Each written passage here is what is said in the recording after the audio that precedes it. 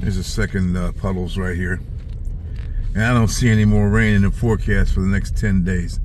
So it's going to be drying up out here pretty good. Hopefully we'll get a little bit of stuff accomplished here tomorrow, between now and tomorrow and the next week. And, um, and I'll just try to keep maintaining and entertain any ideas of uh, replacing that orange mower. We're going to have to replace that before, before next season with something. We'll see if anybody's donating anything or for a good cause. But um, come around, swing around to the left out here when you come with the bend here. And we got a nice puddle in the middle, so we go back over to the right. And then I just come on through this uh, on the on the right side here. There we go. And I cut this yesterday.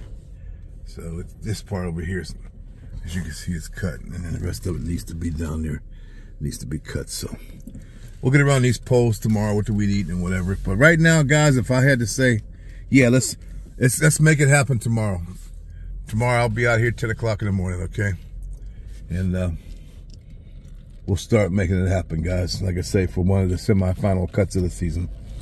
Appreciate you both, man. We'll talk. See you tomorrow. See you tomorrow.